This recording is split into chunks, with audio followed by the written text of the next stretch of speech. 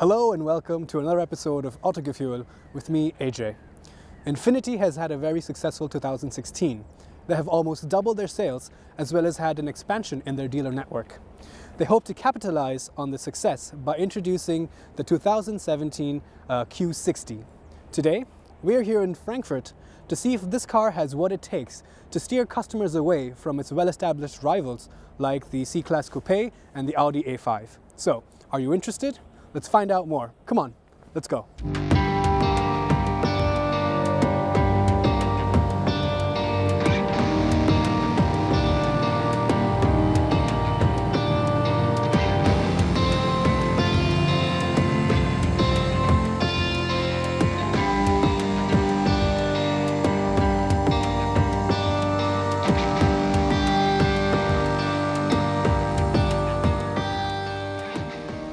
Up front, we have the very recognizable Infiniti trademark grille.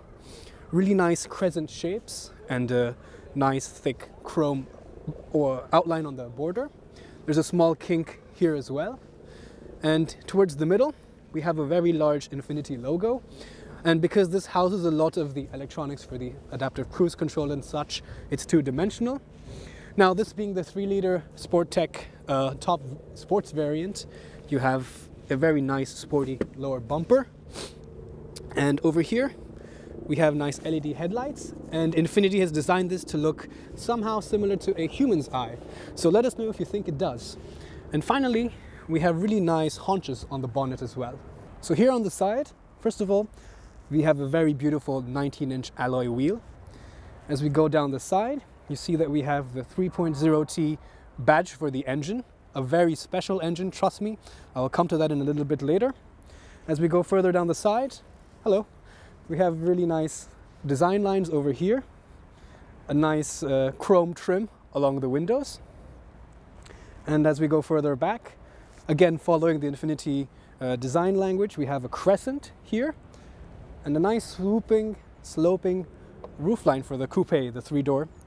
And finally, a nice shoulder haunch over the rear wheel arch. So the Infiniti stands at about 4.6 meters long and that's about 15 feet.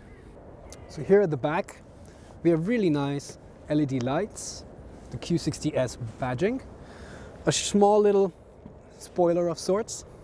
And further down we have really nice fins towards the bottom, black plastic at the bottom of the bumper, and really nice big uh, exhaust pipes so the Q60 is about 1.8 meters wide. That's about six feet. So let us know what you feel about this design. Put your comments in the section below. So the Infiniti Q60 comes with two engine options. The 2.0T, which is a 2-liter 4-cylinder turbocharged petrol engine, which is the same uh, shared with the Daimler, and we see that in the Mercedes GLA as well. Uh, this makes 208 horsepower. It's mated to a 7-speed torque converter automatic transmission and goes to rear wheel drive. And then we have this. This is the 3.0T, so it's a 3 liter twin turbo V6 as you can see. And this is a special engine because this is the VR30 DDTT engine. And for those of you who know, it's a very close derivative of the engine used in the Le Mans Nissan race car as well as the Nissan GTR. So, could this be a younger brother to the Nissan GTR overall? Because this also has a four-wheel drive system and this engine makes 400 horsepower. So the Q60 comes in four variants, four trim levels. Starts off at the Premium, then the Premium Tech, then the Sport, then the Sport Tech. The Premium with the 2-liter engine starts around 44,500 euros here in Germany, and this with the 3-liter V6 uh, and the 4-wheel drive costs upwards of 64,000 euros.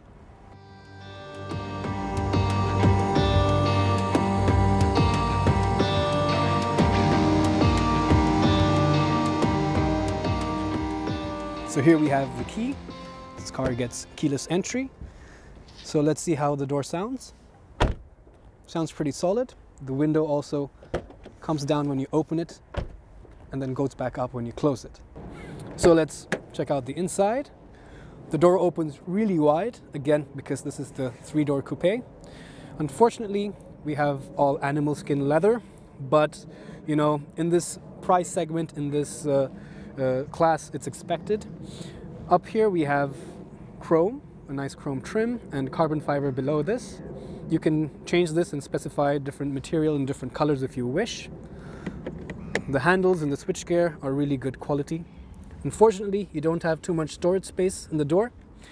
And this is a very nice new system. It's called the Bose Performance Series. So it's a new series, a new speaker range designed by Bose. And this car debuts this. And uh, the speakers, uh, the speaker system has 14 speakers all throughout the car. And now the seats are, again, because this is a sport tech version, has sport seats. Unfortunately, again, all animal skin leather. It's electronically adjustable and it's not that comfortable. I will talk about that later on. But now let's hop inside. So now let's take a look at the interior. So we have a really nice meaty steering wheel. In fact, the steering wheel and the gear shift lever are both unique to this model uh, in Infiniti. You have a, a lot of buttons on the steering wheel to adjust your volume for your call and for the menu. So you have a screen on your dashboard, which gives you a lot of useful information about your driving aids, of which there are many. Uh, your chassis control, a whole bunch of things. And there's a shortcut button to engage all your sensors or disengage them if you wish. Again, this being the 7-speed automatic torque converter, you have paddle shifters behind the steering wheel. And overall, it's very sporty including uh, the dashboard itself, you have a analog tachometer and a analog speedometer. And there's these really nice little details around the edges, which again give it a much more unique uh, appearance. So let's take a look at the center console. So underneath the armrest, we have a nice felt-lined cubby hole with USB sockets and a 12 volt power socket as well. Really good build quality, doesn't shake, doesn't rattle. Up further, we have two beverage holders, again lined with nice shiny chrome. And then we have the drive mode selecting switch over here.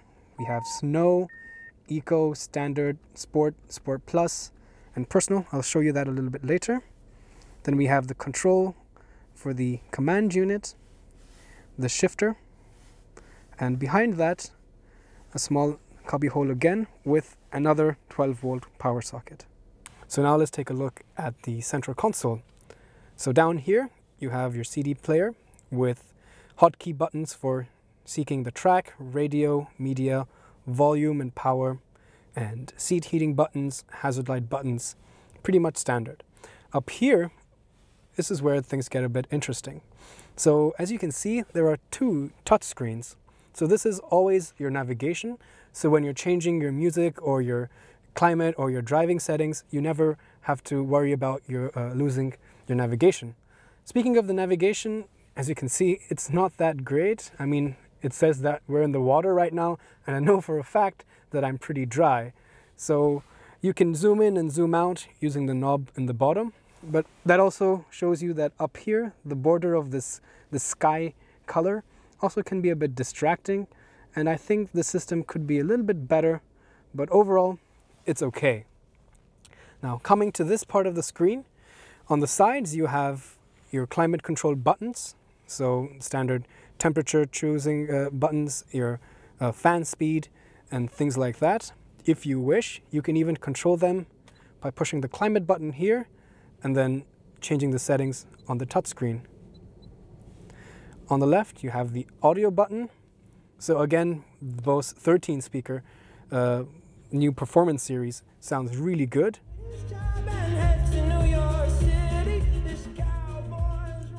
And you have a lot of settings for this as well. Uh, you can change a lot of the bass and treble and things like that.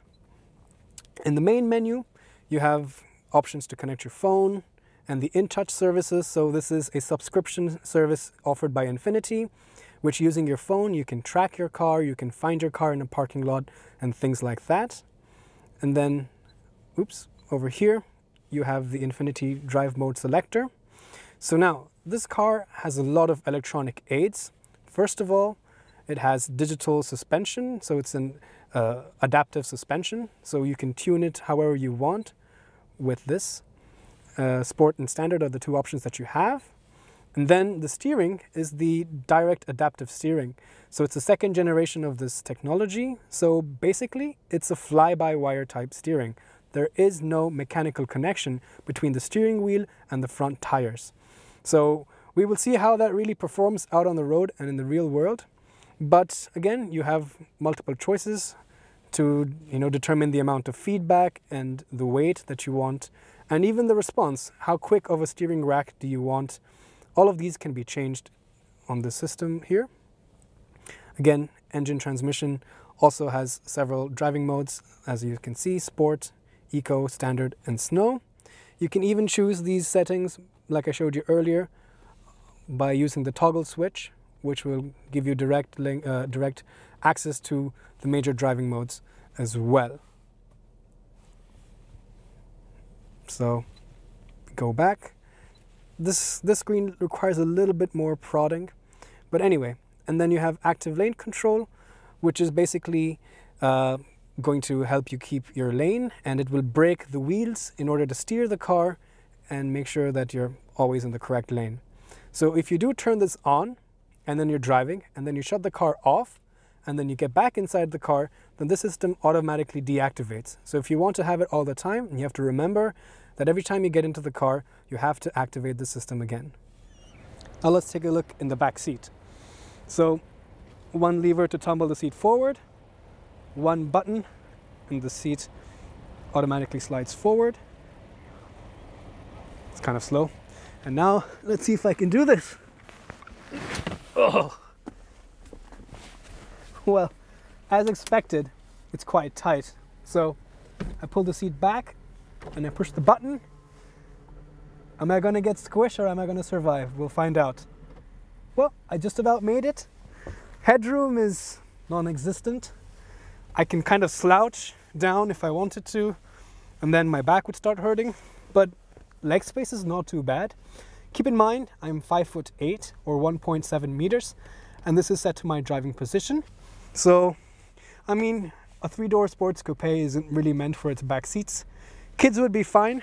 You also have ISOFIX points with top tethers. Uh, so overall, it's it's as expected. There's a little button here which releases the hatch. And well, as you can see, it's not that large. There's a very large loading lip. Um, because of the the shape of the, of the rear. The opening is also quite narrow, but you do have a little tab which you can pull and fold the rear seats down. This gives you some more space to put some longer items. Just to demonstrate, here's a regular sized suitcase. It fits in with plenty more room to spare.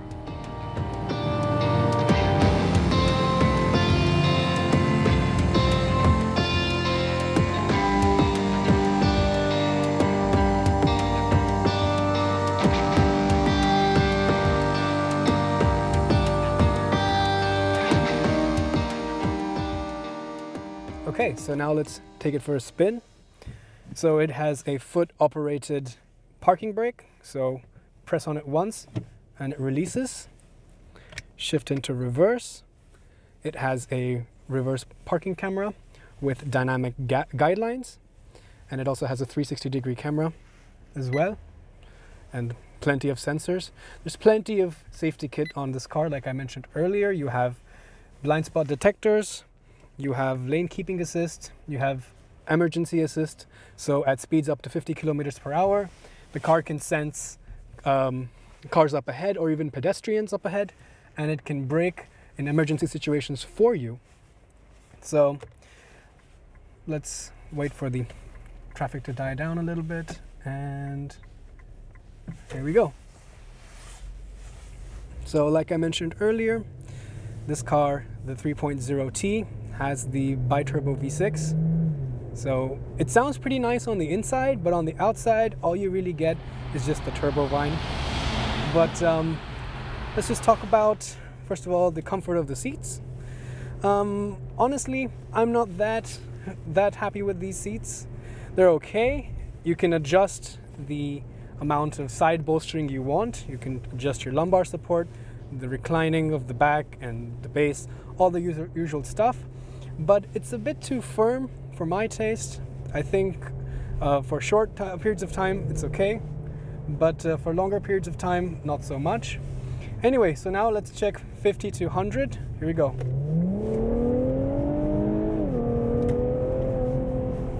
So, pretty powerful. Again, 400 horsepower, which is quite impressive to be honest. And it has all wheel drive, so really good traction, no doubt about that. And the main point about this car, again, is the steering. Now, I'll be honest with you, I was a bit skeptical in the beginning because, you know, I think that to have really good steering feel, you need to have, you know, at least some kind of a physical connection. Yes, everything is electrically, I mean, electric uh, powered steering, but this is completely fly-by-wire, so there is no physical connection between the wheels and the steering wheel. But with the sports mode that I have it now, as you can see, oh, I had it in standard, there we go. Sports mode, it's really nice. It's really, there's a lot of weight and it's really sharp, as you can see, just a little bit of movement, there's instant response from the car. So I must say, I'm pleasantly surprised. Apart from that, well, there's good noise insulation. I don't hear too much of tire roar or wind noise. Visibility is at a premium. I mean, again, this is a sports coupe, so you can't really expect to have great visibility. Visibility out the back is also quite restricted because, you know, the rear windshield is sloping and the roofline is also dropping quite heavily. But uh, up front, I don't have too much of, of, of visibility because the roofline is quite low you know, side visibility is all right, but um, overall it's it's not too bad. Again, expected when you're in this uh, segment and looking at um, uh, coupe sport coupes. They're all going to be pretty much the same in terms of visibility. But definitely this is nice. Now that we have it in Sports Plus, the throttle response is uh, heightened. Ooh, really sunny today. The throttle response is heightened, and we also have uh, the engine uh, gearbox holds a lower gear for a higher time, so you have quicker acceleration. And again, I talked about the steering. And finally, the suspension as well becomes stiffer, the damping. It has, uh, it's called the digital dynamic uh, suspension or something like that. All these fancy words, but you know, in the end, they all do the same thing. And on the highway right now, it is a bit jittery. So I'm gonna turn it down to, let's see, let's see how standard is. Honestly, it didn't feel too much difference in suspension, but immediately the steering wheel is a little bit lighter and you know, the rack, the ratio over the rack is also decreased. So it's not so sharp acting anymore. So on the highway, it gives much better stability. Apart from that, steering wheel grip is really nice. The GPS, I think, could be better. Like I mentioned earlier, it's a bit too, you know, looks a bit outdated, to be honest. I think uh, the graphics can be better. As you can see, the refresh rate is quite low.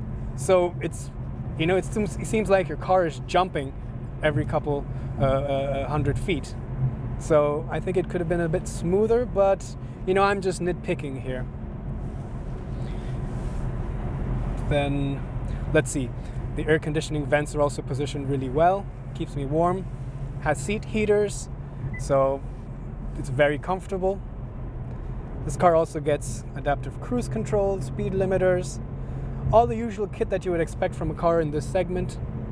So it also has lane keeping assist, like I mentioned, and you know, if I stray a bit too off from my lane, the steering wheel buzzes and the inside wheels also brake a little bit so it pulls me back it drags me back into line automatically.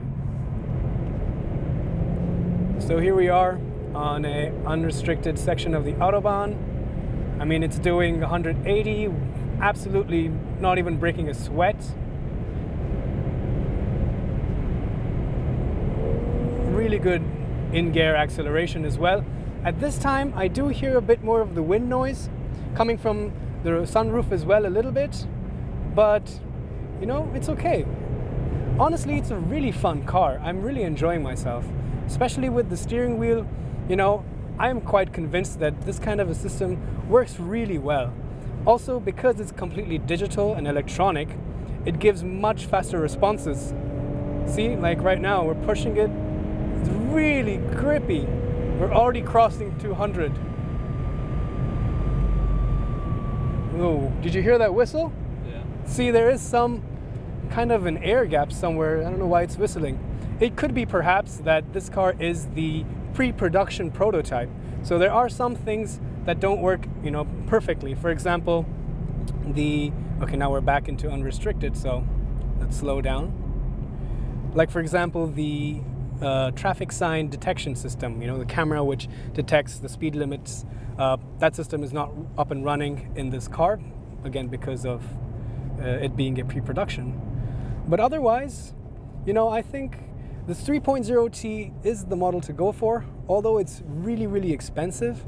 Because let's face it, if you're buying a sports coupe and you're looking at things like the C-Class coupe or the A5, then you know it's not really about the money. It's about having fun and about having a very dynamic car. And yeah, in Germany here at least, you see so many of these uh, Mercedes, Audi, and BMWs. So Infiniti is up and coming, and it's going to always draw people's attention. Like even when we were driving through the city in Frankfurt today, a lot of people turned around and you know stopped us and asked us at traffic lights or in the parking lot about what kind of a car this was. So it certainly attracts a lot of attention. If you're into that kind of a thing, then you know it's definitely worth considering.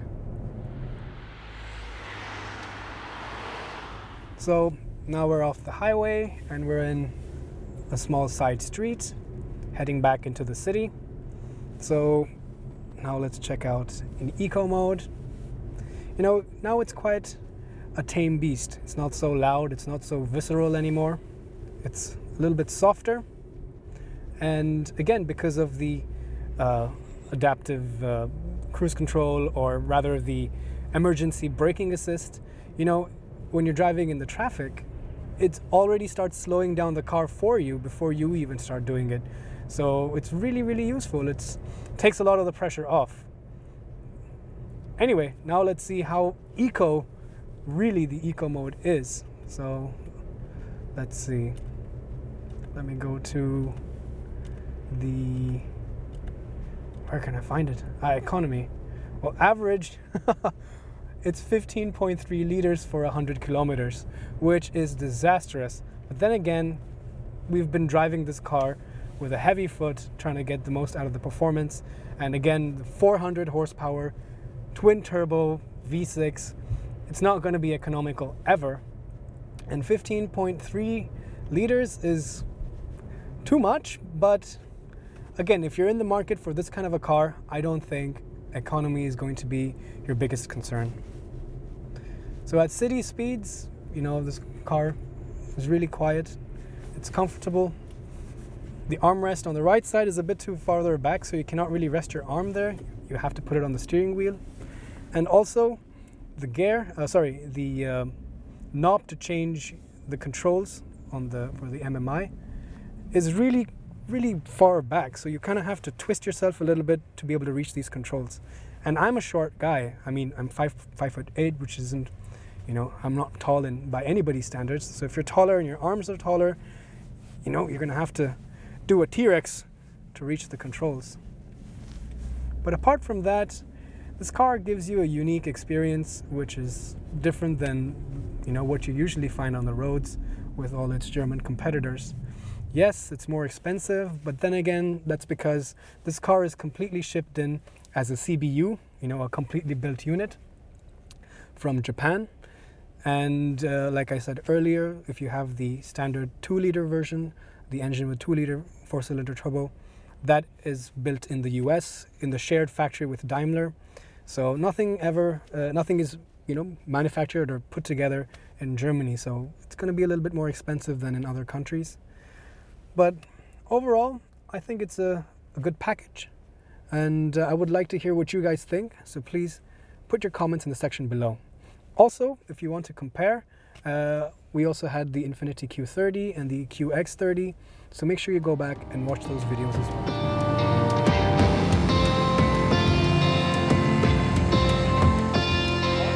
This is the 2.0T. We were driving the 3.0T. Also, this is a different color, but on the whole, on the outside, nothing really is different than the version we were driving. So to summarize today's drive of the Infiniti Q60, well, when I first started, I wasn't so sure that I would like the fly-by-wire steering system. But I must say that I think Infiniti have got it down pretty well. This is their second generation, so they've improved upon uh, the feedback, using the feedback they got from the uh, users. And I'm sure by the next generation, it'll be even more better. So let us know what you think about this car and put your comments in the section below.